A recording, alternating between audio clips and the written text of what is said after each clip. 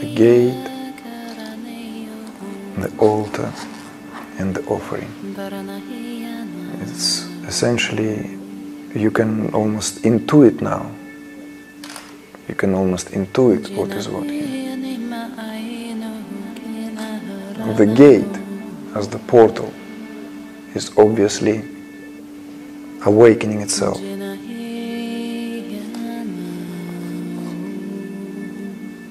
The gate here is literally, if we are to go onto the level of the spiritual anatomy and to locate that, the gate would be, is literally that where consciousness itself is in a state of homeostasis. So the gate here is that where consciousness itself, out of its own will, experiencing this individuality.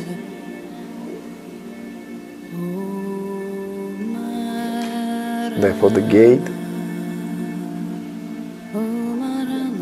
is the act of awakening. The gate is literally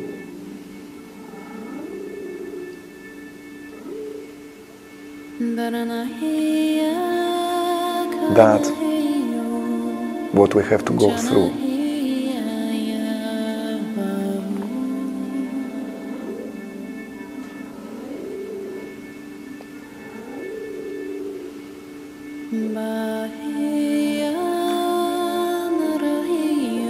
So, what is the altar then? What would be the altar?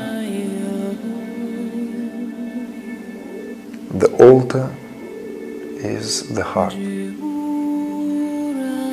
The altar is the heart. The heart here as the seat of consciousness,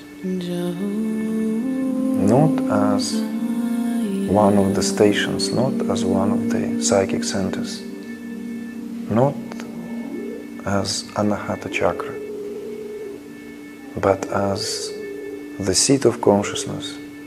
In Sanskrit, it is referred to as Hridaya, or Hridya, or Hridayam. Hrid, heart.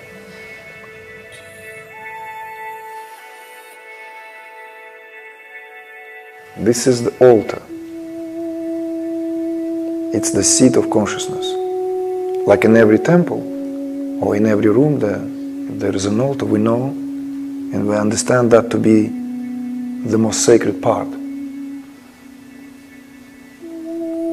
Like in every temple, there is an altar. Whichever, whatever culture that temple belongs to, there is that inner part.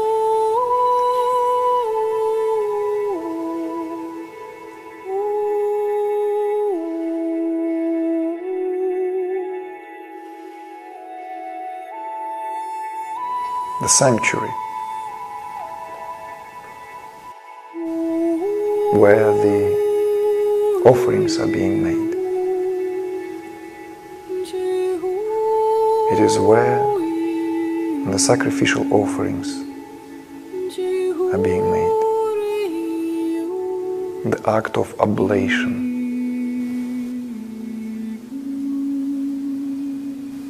Of pouring a precious substance into the sacrificial fire, or anything for that matter that acts as the catalyzing essence which will receive that offering so that it can be transformed. So, what is being offered? What is the offering here?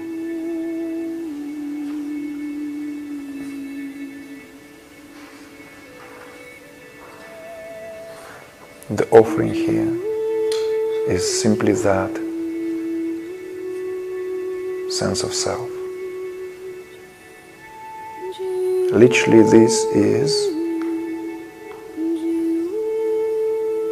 where our individuality willingly, lovingly, tenderly offered.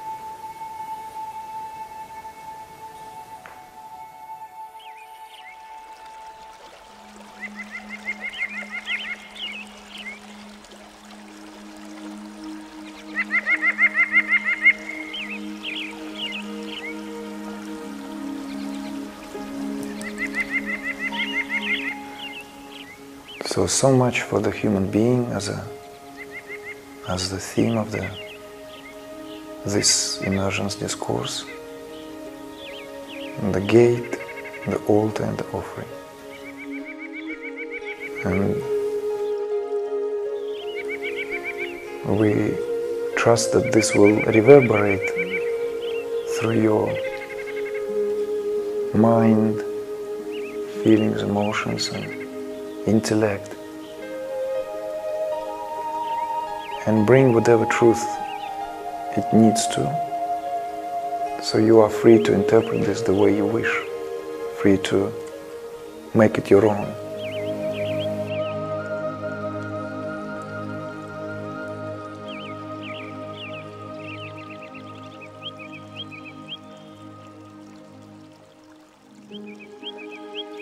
But loosely, this is what it exemplifies. If we are to speak about what awakening is, and if we are to also speak about it from the integral perspective, and with the integrity it deserves.